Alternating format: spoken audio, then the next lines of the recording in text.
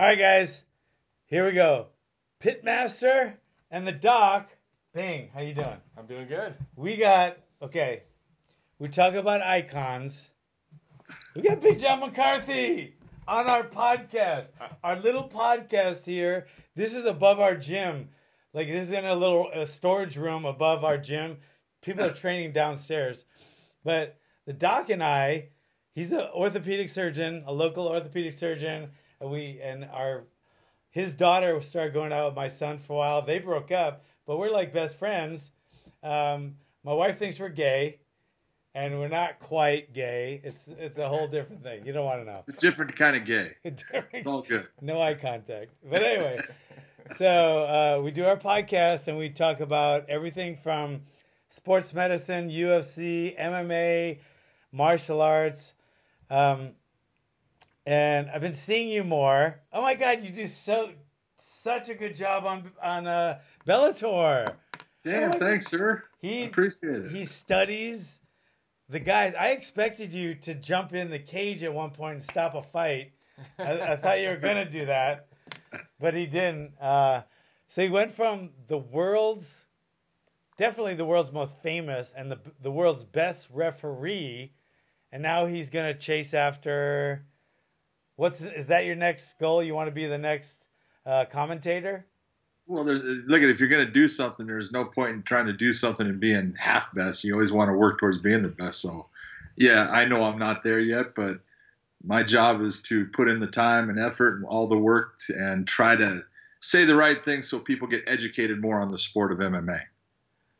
Yeah, yeah, yeah. They were, and and just watching the fight. I know you. I mean, I know you're a fan and all, but you could tell when you're watching these Bellator fighters. Some of them aren't aren't really that well known, but you like knew every fucking thing about them. You knew like where they were born, where they went to grade school and shit. You were like, you knew everything about it. I was like, holy shit! How much do you? How much time? Say the UFC, the Bellator. Sorry, the Bellator Okay. fight fight is on Friday. How much time do you spend going over every single fighter on that card? About two weeks. I spend about two weeks of time, and I, I'll I'll pick out and I'll start doing uh, just backgrounds and biographies on them. Then I'll start watching, you know, tapes on them, watching their prior fights, seeing what I think they're good at, where they have some weaknesses, where where someone can give them trouble, how their style is going to match up against their opponent. So there's a lot that goes into it. I used to watch a lot of tape, you know, just watching fighters just to see where I thought they were strong and where I thought, you know what, if a guy gets in this position, he's not good at getting out of this. So as a referee, it would tell me something. So I used to watch tape, but I watch even a lot more tape now because I'm looking as a with a critical eye towards what are they really good at, where are they weak at, and where can this fighter take advantage of them if you know if they're doing well. So a little bit different, but it's all fun. Huh? Yeah, it looks it looks like a lot of fun. You're, I mean, your guy, the guy that you're with is good. What's his name? Uh, Mike Goldberg. No, I didn't see I'm it. with I'm going to be with three. I have I had uh, I Mike Goldberg, Goldberg. start out with, then Sean Grande, who's the voice of the Boston Celtics, and now uh, next this week coming up, I'll be with Mauro Ranallo. Oh, okay. Oh, so you got some big time good guys. Okay, Oh, because yeah. the guy you were with this week, I didn't watch the whole show because I TiVoed it and then it, I didn't all come up. I didn't like. I didn't get to see that crazy horse guy. He fought right. Crazy horse, no crazy horse. Oh, he didn't fight in. Okay, he fought in a different card then. Okay, he must have been a different promotion. Not on Uh. We were in Budapest, Hungary, man. Yeah. I don't go that far. Was was the kick was the kickboxing the same night? Yeah, yeah. It was- actually they did the kick, they did the kickboxing first. They really set it up cool because they have the the oval the round platform and they put up the ropes and everything. And then as soon as the kickboxing is done, they plop the ropes and the cage comes down from the ceiling of the arena and they just boom stick it right in and we go right into uh, MMA. It's really a cool system that they use. Wow. Yeah, I didn't. Yeah, okay. So my TiVo just TiVoed from a prelim fight, and then at the end it showed two girls doing a kickboxing match, and that's all it did.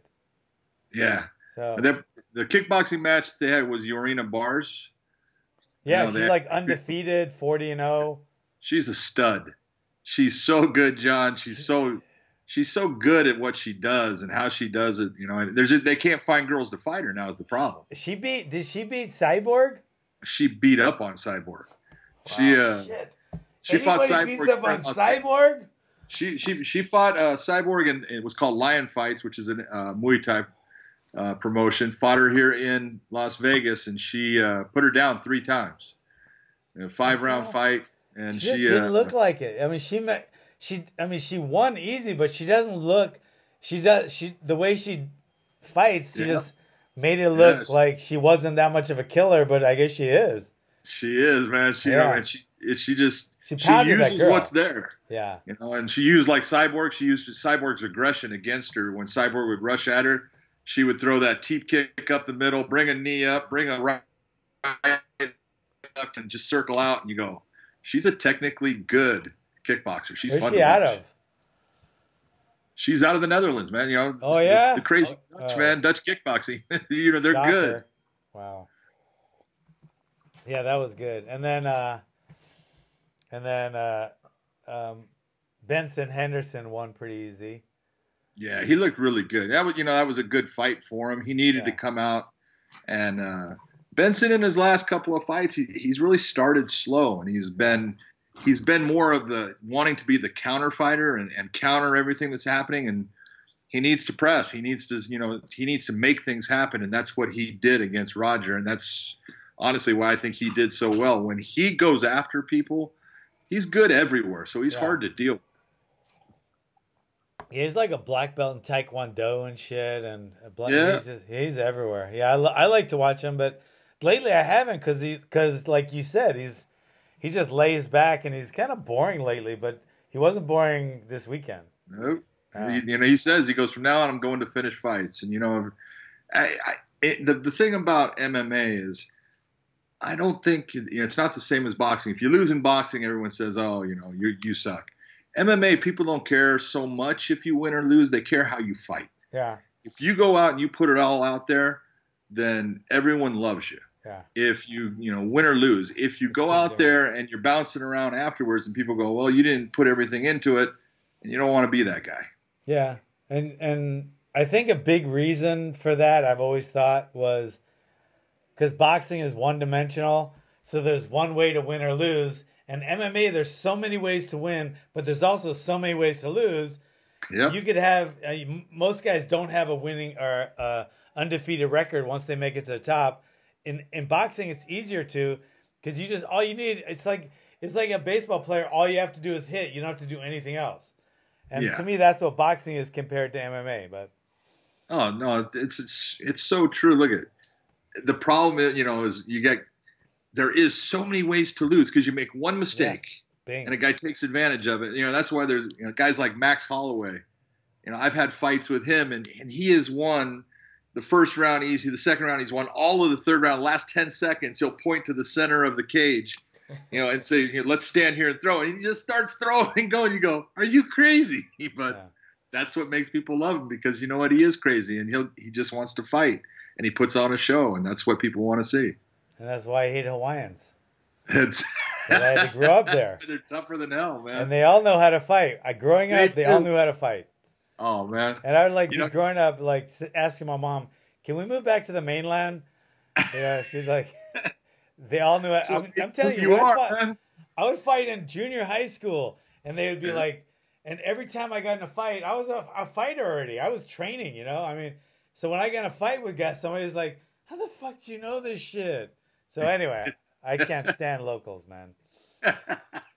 Uh, but anyway, uh, so we got that. But what do you think about? Well, it's, that's a that's a dumb question to ask you. Uh, um, what do you think Bellator has to do?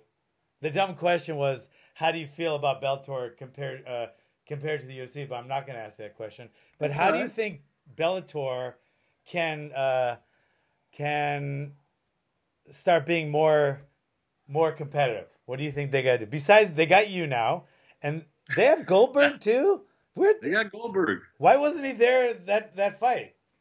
uh, because his son was in a uh, is on a uh, a state uh, hockey team that was going to the nationals, Oh, and it was his chance to see his son play in the Nationals, and he he took that, and it's the right thing to do. Yeah. You can't miss that.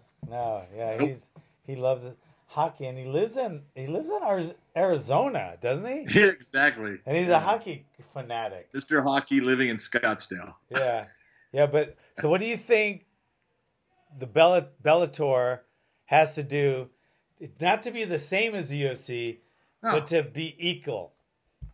Yeah, well, if you're if you're looking at the differences in the two, there's a straight out from me. There's things as far as production wise that the UFC does that Bellator needs to start doing. Things like the UFC does UFC Tonight. They do the weekly shows. Bellator needs to start doing that to start marketing their fighters because they have some incredible fighters. Yeah, Uh, if, if you're looking at the, you know, the truth is, and people will get mad at me for saying it, but the truth is, if you look at the top, you know, the top four in Bellator in the in different weight categories, they match up exactly with the top four in the UFC. You know, you take look at the 145 pound class in Bellator. It's got uh, Patricio Freire as the champion. Look at he can fight with Max Holloway. He is tough as hell. He can fight with anybody. He's, you know, I don't know, probably about 24 and four as far as his record. You know, one of those is a loss to Benson Henderson where he was winning the fight and he broke his leg. You know, that happens and stuff. But look at the top guys can fight Yeah. equally straight across. You look at Eddie Alvarez was a champion in Bellator and he went to the UFC and was a champion in the UFC. You know, and so you have those people there.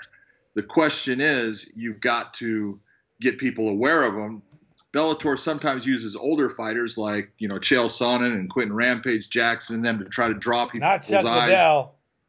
so they can see. I hope not, because I don't want to see Chuck fight. I don't either. I'm with you. I And it's not because I would love to see Chuck fight, but I don't want to see Chuck fight at this age, and I want him to stay retired because he's done everything that he needs to do. Oh God, yes. But we've had this conversation. But so you think okay, so I I I look at Bellator a lot like and I love this part of it. I like the fact that they throw in kickboxing and some of their entrances. I like some of their pride-ish type stuff. I like that stuff. I mean, people miss that shit, you know? Um, but I don't know what it has to do to you said mar- more marketing. I agree with that. Uh, Well, they need that. They, they, they also need to start, you know, uh, there, there's things that are wrong in if you're live fights, you've got to be shown live on TV. Now, if, when Bellator goes on, on the East Coast, it's live. On the West Coast, it's delayed. oh, you can't yeah? have that. I didn't know you know that. that that doesn't work you know people want to see things live so there's things you know production wise as far as viacom they need to start looking at how to do things in a better way for the fans in presenting the actual fight material out to them so that has something to do with it and then you know it's just a matter of fighters got to fight and put on good fights and we do have great fights a lot of the time we got great champions you know Yeah. there's guys out there that are fighting. This week is not a championship fight, but it's got Michael Chandler against uh, Brandon Girtz. It's going to be a great main event. It's got AJ McKee, who's the son of Antonio McKee, and he's fighting Justin Lawrence. Yep. They're still fighting at the same time, pretty much. Huh? Antonio, did he just retire? Uh, Did Antonio retire? yes, Antonio retired. Not very long ago. Not that long ago. Oh. No, he didn't. You know, and so, but his son is phenomenal. His son is an athlete. You know, he is fast. He's a good wrestler. He's long. He's uh, 10 and 0 right now in his uh, his career in Bellator. So he's fighting well. Yeah. Okay. And then they had that. Who was that really good wrestler out of AKA um, that just fought and he won? He won, uh, and Crazy Bob was in his corner. Oh, let's see. They had. Uh, Hewer you're talking or- about Ed Ruth. Root. Ed Ruth is man. You, Ed Oh, Ruth, you know, wrestled at Penn State. He was 136 and three in his career at Penn State. Three-time national champion, member of four national teams. Uh, the guy's as good a wrestler as it gets. And man, you take a look, John. That was his fifth professional fight, and the guy he's fighting has had 20. That was his 25th fight. And he has a winning record, too. Oh yeah, and that guy was good. That guy is a good. Uh, I'm telling you, Ion Pascu is a good fighter. I watched him in many fights. Yeah. He can fight, and Yeah. Ed Ruth is special. yeah. That guy's going to be very hard to beat coming up, and he's going down in weight. He was normally 185.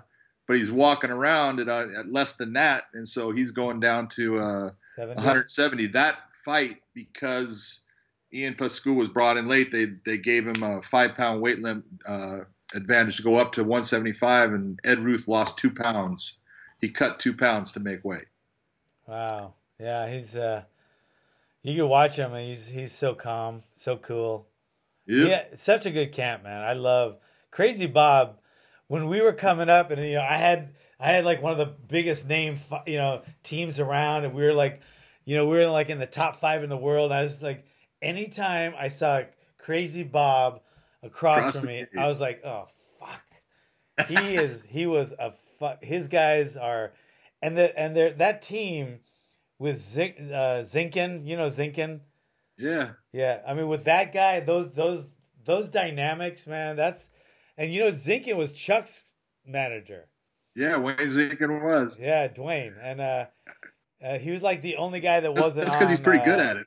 AKA, and uh, but he brings in these top level wrestlers, uh, you know, from all over, and they they yeah, it's it's a pretty awesome uh, team right now. But, Yeah, it's a smart system they use too. yeah, it is, it is, but. They- It was, but okay. So, can you are you allowed to talk about the, the fights at the UFC, or would you rather? yeah, absolutely. Okay, I don't want to get you in trouble, man. Okay. When Right, before, you, before you do, I want to hear this. So, John, how did you meet this guy? I want to know. eh, Everyone that I know that knows John has a, some weird story or something about how they met John. How did you meet John? Did you meet him at a fight? You know what? The first time I met John was at a fight. You know, but John is a he used to have a God, I was Antonio Banuelos, and a great little fighter. yeah, Uh, 135 pound bantamweight or so. What's that? he's uh he's our team captain now. He he's the one that runs the team now. He's still ugly, I'm sure, Oh yeah, but he he's won't admit to it. bisexual, but- bipolar, bi bi uh, bilingual. Yes. But you know, that was the first time. You know, uh, I was doing. I was at a show, and John was there with uh, Antonio, and then, you know, obviously came out when Chuck was fighting, and uh, I was doing a lot of Chuck's fights because Chuck started in the UFC about UFC 17 or so, and uh, you know, I just always appreciated the fact that John was one of the the trainers that was a true trainer. Because in the beginning, we had a lot of guys that had no idea what they were doing. I mean, it was uh, it was a it was like I'm gonna have my best friend in my corner. Well, your best friend doesn't know shit about fighting, and your best friend is being a cheerleader instead of telling you what to do, and that's not gonna help you in the fight. And then in the end, your best friend doesn't know when to say, "Hey, you've had enough," because there's times when you know what, you just have given everything that you can in the fight, and there's nothing else you can do, and you're getting your butt kicked, and your friend's gonna send you back out there when your trainer, who should be your friend too, tells you, "Hey, that's it. I'm pulling the plug. This is over." And that's one of the things that John Hackleman would always do if he saw that his fighter had nothing left and you know there was nothing more to give. Well, I'm not going to send him out there to get hurt. You know, he would always pull that plug, and I always respected John for that. Aw, thank Oh, that's nice. Yeah, thanks. I, it's it's a it's a it's become a problem um, because it's it makes me sound good, and it I think I am good for a lot of things, but I stop it a little too early sometimes because I get so emotional, and I've Yeah. actually stopped fights where the guy actually could have gone on.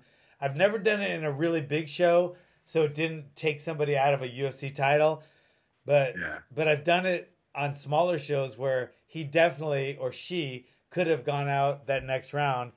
But I just I just see no reason for it. I, I stop it sometimes just a little too early, but I'd rather be a little too early than a little too late. Uh, but like I said, with Chuck and with the UFC guys, I've never done that yet.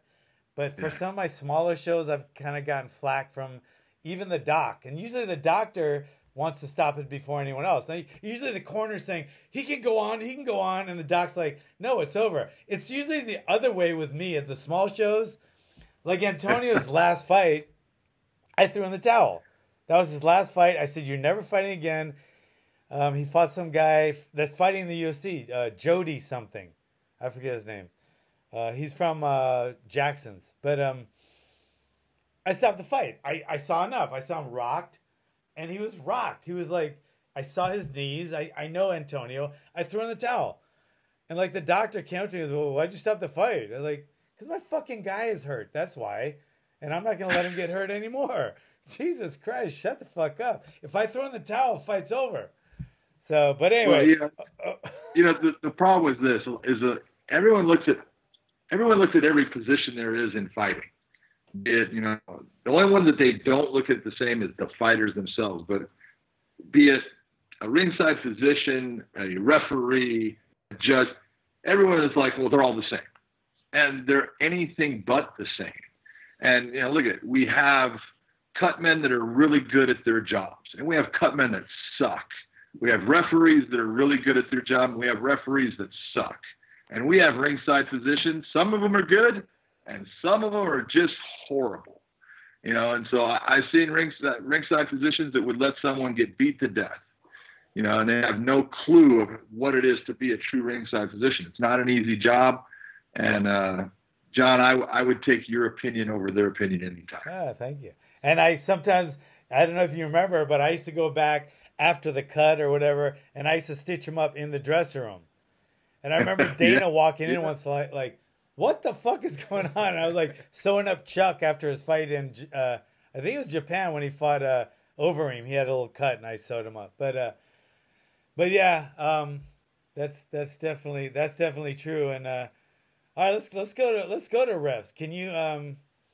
Let me tell you my. I'm going to tell you. I you you're probably in a different position than I am, but uh, so my refs, and I always tell these guys, my my favorite ref in the whole world ever is Big John McCarthy here, and then after that it kind of goes down, but right after on the next tier is to me Herb Dean. Um, and then it goes down from there, and then but catching up to Herb Dean, I think Miragliotta is really good. And I think Mark uh, Mark Goodard is is making wave. I mean, I think he's because like you, you're not just the referee. You are a persona in the cage that people had to reckon with. Do you remember this look right here? What is it? What am I doing right here? Who is that? that's that's grabbing somebody, I think. I was talking about that with my fighters the other day, and I said if Big John ever has to do that to you and put you against the cage, I'm fucking throwing in the towel because he it was the cowboy, the cowboy, right? That was uh, Charles Oliv- Oliveira. But it was the cowboy Oliveira, right? Is that the Yeah. yeah? From, Hey, Brazil. hey, what? From Brazil. Yeah, yeah, yeah. And he was Yeah. getting stupid, and Yep. you remember that? No. Big John grabbed his face and said, "If you want to be a champion, act like a fucking champion," because he was acting stupid. So Big John actually, like a kid, he grabbed his face, and I think you got a little bit of flack about that. Did you? Oh, of course you're get you'll get people that say you shouldn't do that. You know, it's like, look at what I'm doing is taking someone who's starting to lose control and bringing their mind back on what's important and getting them focused on, hey, you don't have to act like an idiot. You have to be under control for you to win this fight. Because you know, if anyone knows John, you do. When you fight angry, you lose. Yeah. Uh, you, you cannot fight angry and do well because your emotions start to get involved. Fighting is about using the, the most important tool you have is your brain. That's what makes everything else work. And when that brain is firing off because it's angry, you're usually going to make mistakes and it's going to give someone the opportunity to beat you. So, and my whole point is to get him back under control so we can let the fight go on and he can perform at his best. But it's things like that, and I think Goodard saying Goddard or Goodard, but whatever. Goddard. Goddard. Mark Goddard. Goddard. I love them. I love when he told uh, it was the girl with the blonde hair from uh, Jackson's, Holly Holm, and he and the other girl, and they weren't really doing much. And he said, "I know you guys probably have a really good strategy, but you got to make something happen here." And that was like Yeah. it was classic.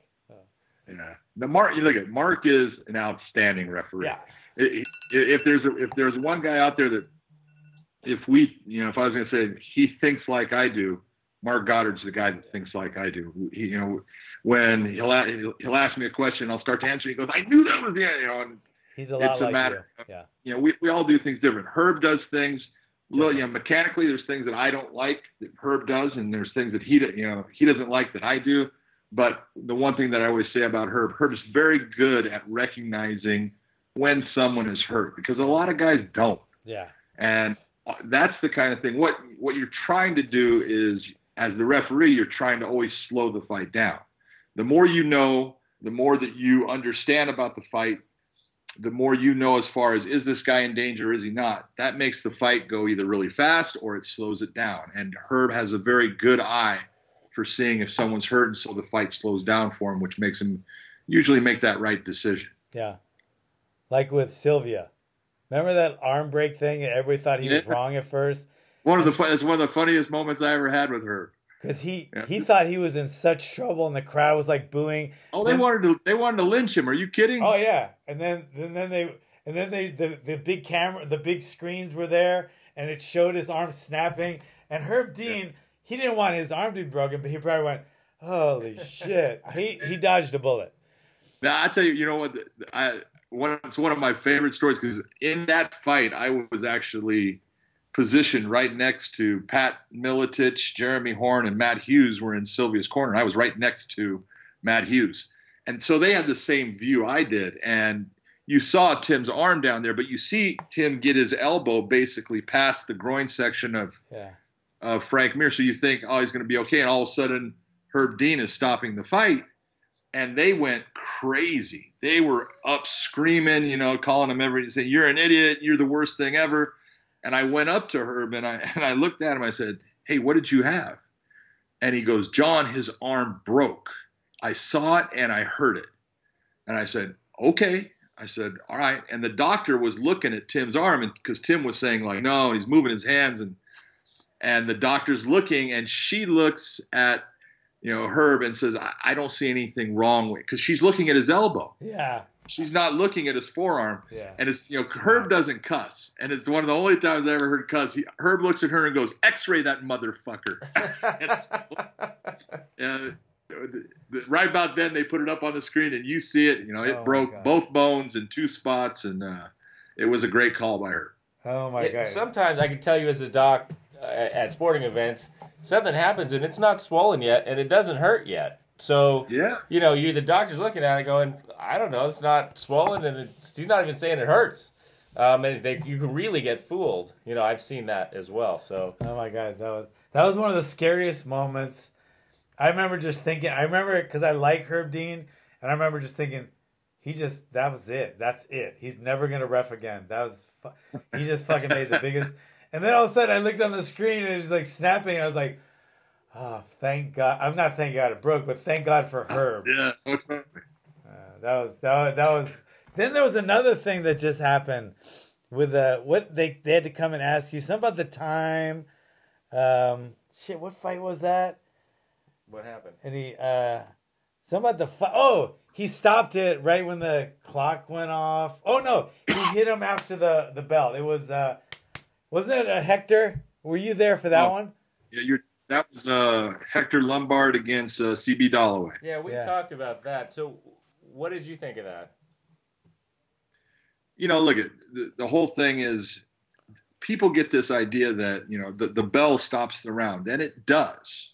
Okay, it is the signal for the round to end. But I'm telling you, there are times when you can't hear that. In fact, John was part of a fight when Chuck first fought Tito Ortiz back at UFC 47. At the near the end of the first round, Chuck opened up with a great volley co- combinations, a head kick coming after Tito, and the crowd just exploded up as far as uh, the sound volume. And they have the horn, and they went to honk the horn, and you couldn't hear it. And I had this system of when I heard that you, you'll notice when you'll hear that clack clack clack of the boards, and that that is really for the trainer. That's what that system is in there for, is to tell the inspectors and the trainers, get yourself ready. The round's coming to an end. There's 10 seconds left. They're grabbing their buckets, they're grabbing the stool and all their stuff and moving themselves to that cage door. But if you notice, I'll always point towards the timekeeper. And the reason I point towards the timekeeper is because of that fight with Tito and Chuck. And I realized that I need to signal that timekeeper so they know that I heard that that 10 seconds Right. has gone off and the round's going to come to an end.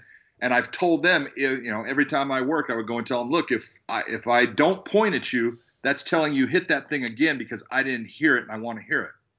So you'll see that I'll always point towards the, uh, you know, timekeeper, and then as that round is coming and I'm counting down in my head, when I get to two, I'm moving pretty close to the guys, and one, and I'll hear it, and you'll see my arm will actually come in between the two fighters and I'll call time. And the reason my arm comes between the two fighters is I know that as my arm is going through, if it's not extended and something goes by it, it's legal. But if my arm extends out, that's enough time for the fighter to see me, hear me call time, hear everything.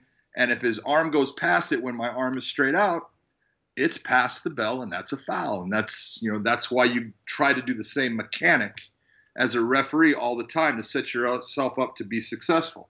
I think in So that what- case, didn't he got disqualified based on his counter? It was basically a counter to a kick or something. It was Um, a double counter. He threw it. He threw a right and a left hand. Yeah. So Yeah. after the horn, but uh, yeah, so he got disqualified in that. We we And, and talked you about look at it. Who's responsible? Well, the referee did 90% of what he was supposed to, but there was 10% missing. He did not get himself visually in between to let Hector know and to try to deflect. I can tell you, you know, one of the funny ones I had was another one of John's fighters, Court McGee. I'm trying to think of who he was fighting, but it wasn't that long ago. And right at the end of the round, he goes and I'm coming in to go time, and he throws a kick, and I grab the kick, you know. and when I grabbed the kick, you know, it actually hit my arm, and it made my arm go dead. You know, and I'm sitting there and I'm trying to shit. I'm, I'm not trying to make it look like anything. I'm thinking, Jesus Christ, I'm so old that I got kicked in the arm and my arm's dead. But that's your job as the referee is you need to make sure that, that blow doesn't hit somebody after the bell. Huh. What? Okay, I got one. Um, I saw a guy get, and they they sh- it proved it did brush his eye. Uh, but what do you think about? And I have a um, opinion. What do you think if somebody says, you know, like the eye, something touches their eye, and they they they step away, and the referee didn't see it? Do you think the referee should give him, you know, like check his eye, maybe see the uh, see the review, or if he didn't see it, should he just say keep fighting? Well, it, you go off of a couple of things. You know, first off, fights are fast. Right. and everyone expects the referee to see everything. It's impossible. You can't see everything. And so there are times that fighters will complain of an eye poke when they got punched. Chuck, when Chuck fought Tito, Tito complained that Chuck eye gou- you know, th- you know, gouging him with the thumb. Yeah, it was a knuckle. It was And- the I knuckle. told him, Yeah. No. Okay. no, that's a punch, right? And as the fight was going, he starts to go away. I said, that's a punch. It's legal. Go right. And Chuck goes after him and finish the fight. And you'll get that with fighters. And so you you want to see everything you can, but th- sometimes if you don't see, you can also see a reaction from both fighters.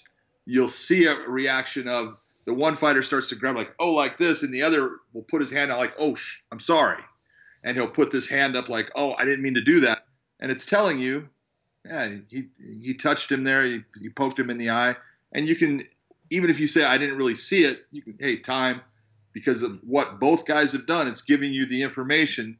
Uh, his hand went out and touched him in the eyeball. He got poked. Okay, I'm going to call time here. But if you don't see that and you see nothing other than one guy going like this, and you didn't see an eye poke, you're going to have to be pretty uh, pretty. Uh, careful in calling time, I'm going to let it go. You know, But you got to go there- what you see. Don't they now just show you like the replay right away? There is no replay for you. You know, in, in, in MMA, the only replays we have, and, and not all states even allow replay. Yeah. The only replays that you have are what we call fight ending sequences. It's the only time you can utilize a replay is you have said that the fight is over. This fight is over. Now I can go to replay and say, is this fight ending sequence due to a foul? If it's due to a foul, I can make a decision on it. Or is it no? That's a legal legal action that occurred, and you know the fight's over with this person being a winner. But You don't get to have a replay and then go back and say, okay, fight. That doesn't Yeah. happen in MMA. Yeah. Oh, that's interesting. Yeah, they, they announced that at most of the fights, if it's allowed, but it you, you can't restart the fight. Yeah, So, there's you, I- you will I not gotta- see it started. That's not the way it works. I'm so nervous. the eye poke to me. I've been everything. I've had everything done to me, and an eye poke uh, to me is the worst. And I feel like so many fighters. I'd say 99 percent of the fighters, if they poke someone in the eye, they're gonna they go, oh sorry, they're gonna admit to it. And then there's the one right. I can think of two guys right now that aren't gonna do that. I'm not Oh, gonna yeah. name them, but I know that Glover. Like people say, oh, give him. A, co- he had three minutes. If you get poked in the eye, fucking three hours later, you're you're barely Yeah. seeing. You're still seeing double vision the next day. Like three minutes isn't going to do shit, but I mean that's all they get, three or five minutes. But Yeah, with an Glo- eye poke, to me, it's talk- almost fight ending. You're talking about when Glover fought John, and, and that was just it was bad.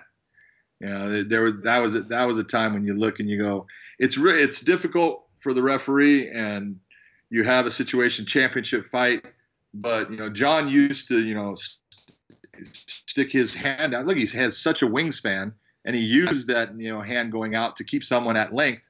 That you know the new rule that was put in was put in because of John Jones. You know, there's a new rule about extended fingers, and that came about basically because of one fighter. You know, and that's, you That's know not that's a why good, you That's have, not a good legacy. I think. I think. No. Uh, I think Gan McGee's legacy for a foul is is uh, at least that wasn't illegal when he did it. no, it wasn't illegal when he did it, but man, he caused me nothing but problems. He's, you know, yeah, he just had his second kid now, and he's a he's in charge of uh, security of about uh, about uh, like this one company owns like ten bars down in our in San Luis Obispo, and one of the guys that owns them is Eric Schwartz, who was the first opponent of Glover Teixeira, and he beat Glover Teixeira, knocked him out, and then that's why Glover started training with us. no kidding. Yeah, and um, so anyway, um, he's one of the owners of all these nine bars, and uh, Gan McGee is the head of security.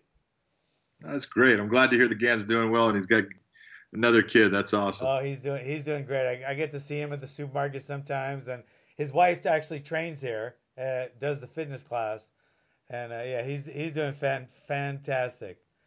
that's right, great. Well, stands out wherever he's at. What? G- Gan stands out wherever he's Uh, Literally, yeah. Yeah. All right, so can okay, can you answer this? I already told you my my three, four. Okay, who's your favorite? Give me your four favorite referees. I mean, you already listed them. I mean, Okay, I, I was watching UFC back long before I knew John, but I remember seeing you like on Friends or something. Yeah. Were you on Friends? What? So, Yeah. yeah, he was like, because they had an episode where back when cage fighting was like this huge taboo. Oh my god! It was like I think it must have been early, early days of UFC, but it made it onto like prime time. Oh and yeah. somebody's boyfriend or something wanted to. He was nuts. Monica's apparently. boyfriend. They made him so crazy because he wanted to fight in the cage. But I think you were he was on it. I- So I don't mean, you go back to all the way back to when I started watching the UFC. yeah. Who? Were you, were you UFC like one or something, one or I two, was right? at UFC one. I started repping at UFC two. I, I was uh, was actually Royce's sparring partner getting ready for UFC one. So what's more stressful, starting that job at UFC one and two, or this new job? I mean, is it just like a whole new thing, having to learn it all over again, or Oh, I'm too old and dumb to get stressed anymore. yeah? I don't get stressed anymore. It's like That's good. So it's not a stressful job. not as stressful at all. No. do you, know, still I- do I your ref think that would school? be- back at UFC two, I didn't think that would be stressful either because I was like, well, you know, there's not a lot to do. There's no rules, so it's going to be easy. and it wasn't easy. yeah, I can't imagine it was easy. Uh, do you still have your ref school? Yeah, still have it. I'm going to be uh, probably teaching a course here come uh, the second week of July coming up in Las Vegas. I want to be a ref. I just No, you don't. I don't No, think I don't- John There's would only- be a commentator. I don't know there's about only- a ref. John would stop all the fights. I would stop every fight. If he got hit, and if he got hit, and I just see him wobbled, I would jump in and stop. I would be in so much. I would last one card, and they would like fucking fire me. You know, I stopped a fight that I wasn't involved in once, right? no. I was sitting front row of a fight once, and I thought this guy was taking such a beating, and I was feeling terrible. I, I was getting emotional, and I stood up. and I said, "Stop the fight!" And the referee stopped the fight because he thought I was, you know, I was in a corner or something. He stopped the fight, and both corner men are like going crazy, and uh, he like came over to me the side of the it was like ring. He goes, "Are you in either one of these corners?" I go, "No," but the guy was getting his ass ripped. He goes. You actually just told me to stop the fight. They were so pissed. They restarted. The commissioner yelled at me, and they restarted the fight. And the guy that I stopped it for ended up winning. There you go. So, but anyway. so yeah, I would be a terrible. So never scratch that. You also Scratch cover that. your eyes sometimes in the fights. He doesn't like to see people get Oh, hurt. God, so I hate- when we I- watch the fights. He he leaves the room sometimes. I'm I'd be the worst. And if like I, I- I have a girl now, and um she she's fighting. She's two and zero, but I tell her I tell her before the corner. I said, I'm telling you right now. I don't care if it's chauvinistic. If you get one little fucking cut on your face, I'm gonna stop the fight immediately. I don't care, because guys look okay with scars and a broken nose and ears. Girls aren't gonna. So I am not gonna. So you know that going in. I, I don't want to touch any shit. And she goes, okay. So she has two uh two uh two wins though right now. So that's that's all. What do you think about the present crop of uh of uh shenanigans? Uh, well, I was gonna say people, but shenanigans of uh in the UFC. What do you what do you think about the latest thing this weekend? You talking about the Conor thing? Yeah, It's a it's a disgrace. Let's be honest. Conor's a, Conor is. I look at it this way. I really like Conor as a person. I think he's a phenomenal fighter. I think he's phenomenal for the sport when he's doing what he's supposed to be doing. But when you're 28, 29 years old, and you know, John, you you know this. Back then, you thought you were invincible. I thought I was invincible. Conor feels that he is invincible. All right. And he thinks that this is going to go on forever for him. It's not. He made a lot of money with this, you know, the whole thing with Mayweather. And he's in a position where he's spending money on things and doing things that, you know, probably isn't smart, but he's young and he thinks that it's going to last forever. And he, when you get to a certain point and everyone tells you how wonderful you are and, you know, you're, you're the best, you're the greatest, you start to believe some of that bullshit, even though it's not true, because you're no different than anybody else and you're no better than anybody else. And Conor needs to start to uh, get put under control. Now, I mean that by himself. I'm not saying someone needs to do it for him. He needs to start having some self control, start realizing what's important, how you go about doing things. You know, this whole thing about, you know, going after Khabib is like, you know, one of the best parts about MMA is if you don't like somebody, you get to go punch them in the mouth in a legal fashion. That's pretty cool because you get to beat on someone and no one is going to put you in jail for it. And to sit there and to do something where you fly in from Ireland and then you have a bunch of your dumbass friends with you and you go and attack a bus or a van or whatever it's going to be. And that's your way of showing that you're upset with someone. I ain't buying it, dude. Get in that cage and fight him and put your hands on him, and that'll tell me how much you really want to fight him. Yeah, and for me, watching Conor's career, I you know there was there's always a lot of talk in the last few years before a fight, and there's a lot of smack talk, and that's kind of his thing. But I was always impressed at the end of the fight, he would kneel with the other fighter on the mat. There was respect. You would see that. You know, a lot of his opponents, there's respect there that you expect from a martial artist after the fight. So it kind of erased for me the nonsense that happened before the fight with all the smack talk. This is a whole different this is a whole different thing what's going on now, but I always liked that about Conor at least at the end if even if it was a bunch of smack talk there was respect in the cage. You know, there was respect for that other fighter, which I don't know. I don't know if that's changed or what's going to happen now. I'm sure we'll see him fight again. Do you Oh, think I'm he should sure- be able to fight again? Yeah, look, you don't take someone's uh, uh, ability to make a living away because they do a head up ass moment, and it was a head up ass moment. No, you, know, you don't do that, and I, I think there should be consequences for it. But to take someone's ability to do what they do away, no, that's that's too much. Well, I think that's been proven with John Jones. I mean, he can have a head up ass moment and come back, and people will still give you another chance and another Yeah. chance. I don't. I don't think he should get another chance. I think. I think. I think first of all, he'll never need to work again. So nobody's taking food off his table because No, he'll never have. But I think, I think, okay, you're you were a cop. I mean, what if you did something like that as a cop? They would take the job away. I think the same thing. I think you should be held to same standards as martial artists. If you did something like hit a bus, that's one thing. But just remember, that could have been somebody leaning their head up against the glass, you know, really tired after all that shit. And if that thing hit their head, like he, like he didn't even, he went, he went through the glass. He could have killed someone, and he did that intentionally. So to me, like I think all the other shenanigans, even throwing the water bottle, that's one thing. But I honestly feel like this, he cro- it, it was like John Jones being stoned going through the light. That's terrible. But seeing that he just hurt a woman and she's bleeding and running away from her, to me that Yep. crosses the line of. of Did cross uh, the line. I think that crossed the line, and and I always think, well, just like the steroids. When I argue with people about steroids, well, they shouldn't, you know, they should never fight again. They shouldn't take their livelihood away. I said, if what if they were a cop? If they get busted for drugs and they're a cop, they're not gonna be a cop anymore. The cop, the cop society isn't gonna say, well, I don't want to take their, you know, their their chance of making a living and, or doing what they love away. No, they once they cross that line of almost killing someone by throwing that hand truck right through the window. I don't know. To me, that was a line that was like unbelievable. I just that made me go from loving him to thinking he does not. I mean, I used to love the guy. You know, all this Yeah. talk and everything. I thought he was like Muhammad Ali, just. But now I don't. So eh, we'll see. We'll not, see what all, happens. not all being said, if he wants to fight again, we're going to see him fight again. Yeah, no matter what, nobody's gonna listen to us. Yeah. Maybe someday. Someday they will. Yeah. So I don't know. That's how I feel about that. But there's there's a lot of shit. What do you think about that card?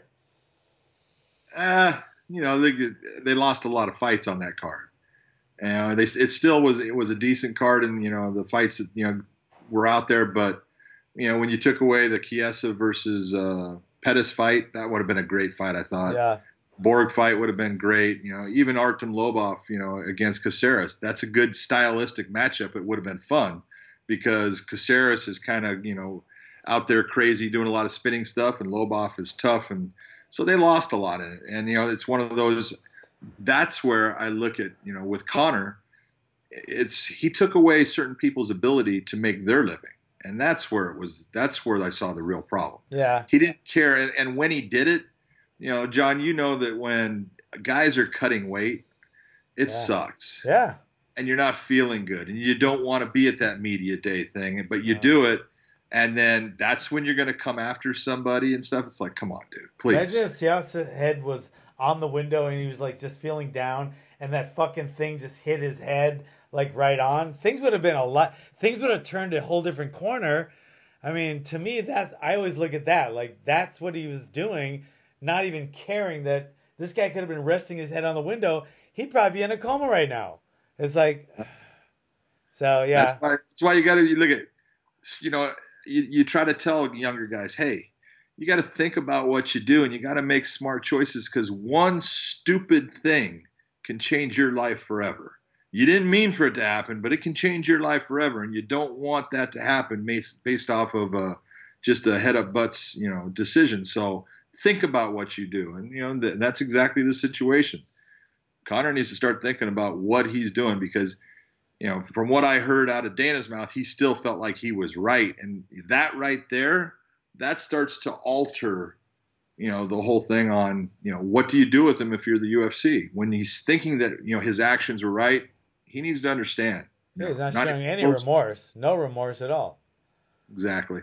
What do you think? What do you think about when you look back? How old are you? 55. Oh, you're still younger than me. Um, all right, if you look back at your life, what do you think about the cha- the choices you made? Ah, you know, I, I look at things all the time, and I made, you know, I made some really good choices in my life. I made some horrible choices. What's the What's the best choice you made? I know there's more than one, but just give me one of the best choices you made. Oh my God! You know, I hear as for for MMA, let's say, you know, when I was 30 years old, I met uh, this guy named Rorion Gracie, and I made the decision to go down to his uh, his house and roll with his brothers because he had invited me and stuff. And that was one of the best decisions I ever made. Now, did I that know that one decision changes your whole life. changed my entire life? Yeah, that's pretty cool, and that's something you try to get across to your kids. Is like you meet one person or two people in your life that have this huge effect on this trajectory you're on. You know, can totally change things for you. So that was Exactly. that's a really cool moment for you uh, to make. Who, who knows who you would have been if You you, didn't if you didn't go to that one Yeah. that one thing. Yeah, Yeah. you you did probably didn't make too many bad ones, but what was your worst choice you made that you look back on you wish you never did? Oh god damn. You know what? I got two. Two. okay, let's. You know, I, I you know, my dad was always a, you know a uh, big influence in my life, and he was a very he was a hard ass. And when I was older, I was like 20, 22, 23 years old. He's at my house, and you know he always used to screw with me when I was a kid and hold me down and poke me. And he said something, and I grabbed a hold of him and I put him down. and I started doing that to him, and he's you know he was fighting back. He's you know trying to get me. I'm going, come on, and, I, and I'm doing stuff. And I realized just instantaneously he's working hard, and I went, I'm screwing up. And I jumped up and I picked him up. I said, I'm kidding with you. I'm sorry. And I picked him up. He goes, Oh no, right? And god damn, if I could take that back, I would take it back because I I looked at that and it was that moment that never needed to happen. And how old were you? I was about 22, 23 years old. You know, and again, thought I, you know, I wasn't afraid of anything. I thought I could beat the world at the time, and you know, and You it was not not that I was trying to hurt him, but I was trying to prove to him I could play with him like he used to play with me, and just the dumbest thing ever. I I hate myself for that to this day. You know, it's Where's it's- your dad? what's that? Where's your dad? My dad lives in Dana Point. He's 81 years old. He's still ornery as hell, and I love him. He's my Uh, hero. So what's the second thing?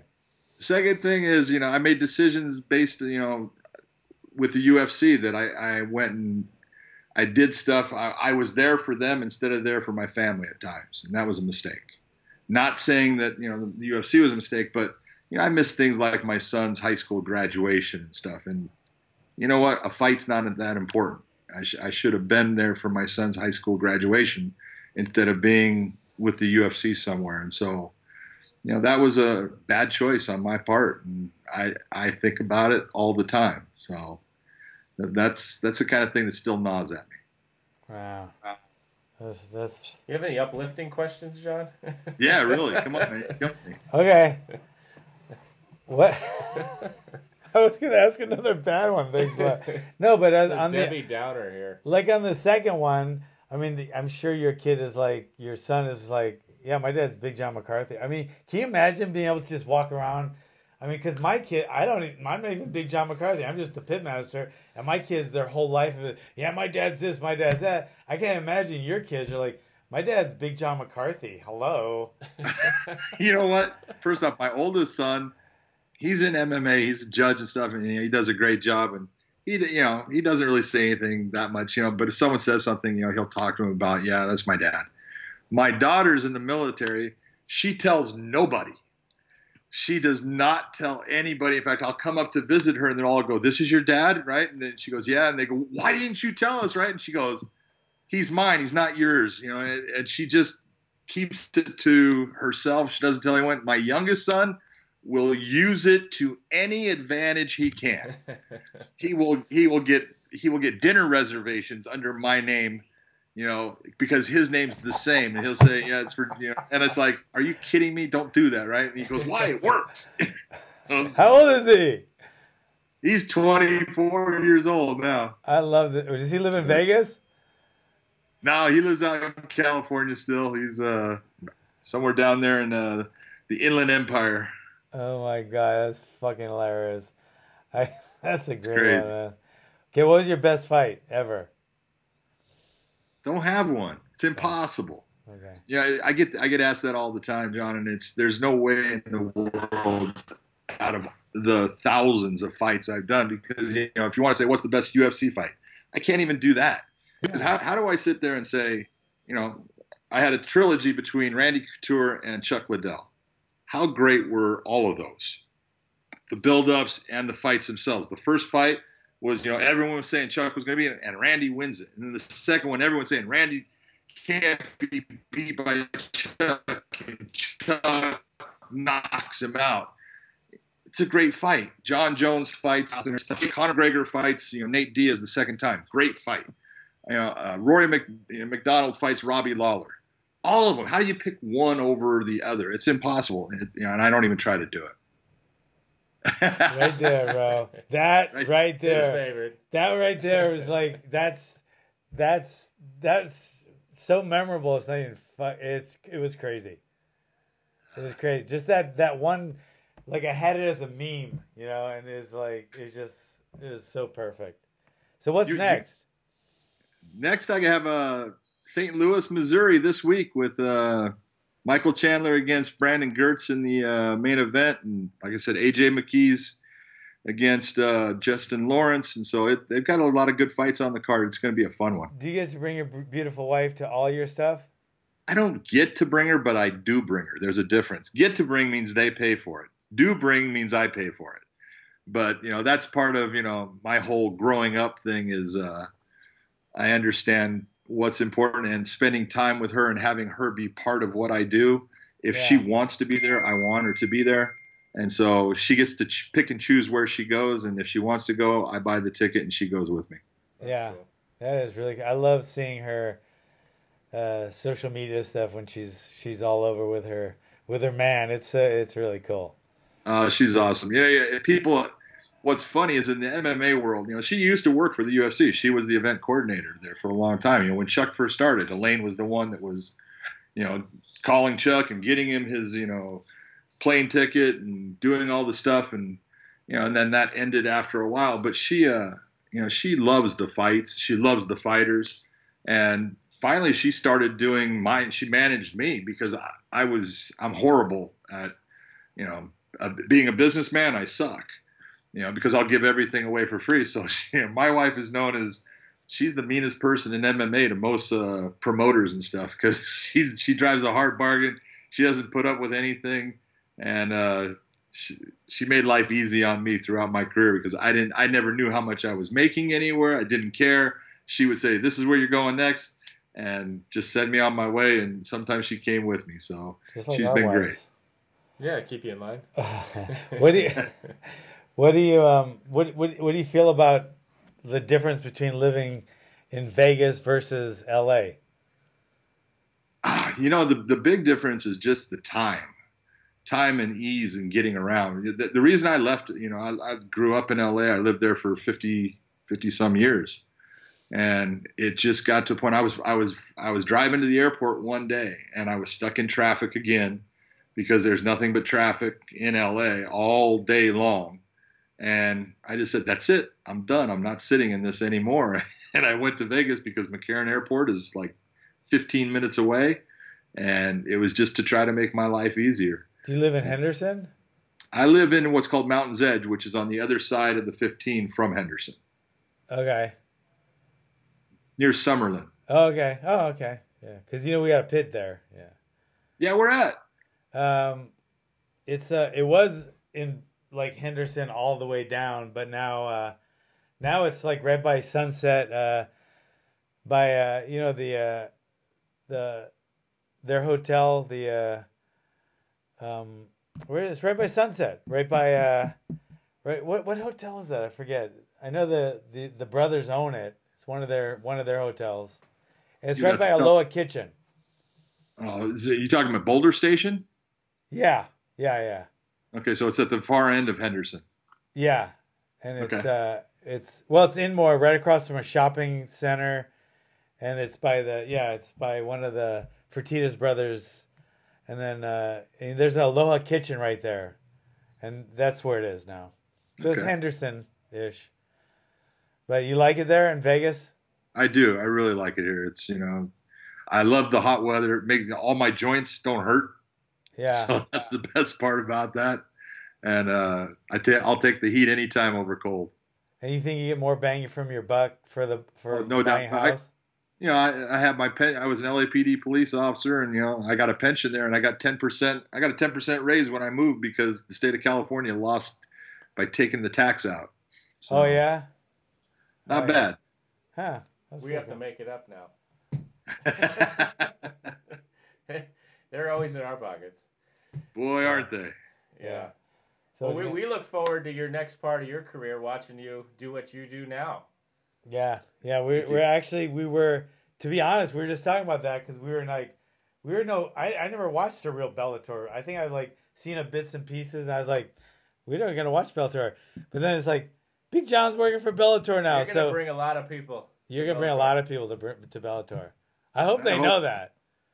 You know, the, my, my whole thing is this, and I don't I don't try to sit there and say, oh, we're better than the UFC or you know anything like that.